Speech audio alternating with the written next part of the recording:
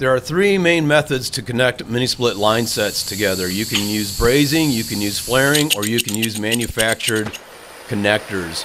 Brazing would be the best method for contractors because, well, contractors braze a lot, so they get good at it. For DIYers like myself, brazing's probably the least effective method because as you can see right there, there's my brazing.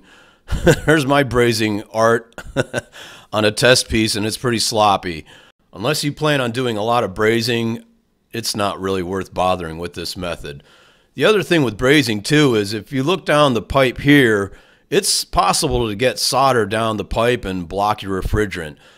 That leaves method number two, which is flaring. Now, flaring is great if you have components straight from the factory because the flaring's already been done for you. Now, this flared connection is ideally connected to the compressor. I wouldn't recommend using flared connections anywhere else, just to the compressor.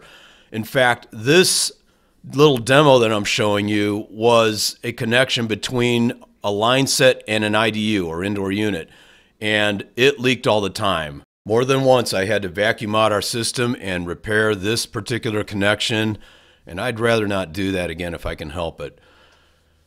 So, brazing and flaring both have their pros and cons, and that leaves connectors, which are probably the easiest method for DIYers, but they are the most expensive. Each one of these connectors runs about 20 bucks, but they're easy to use.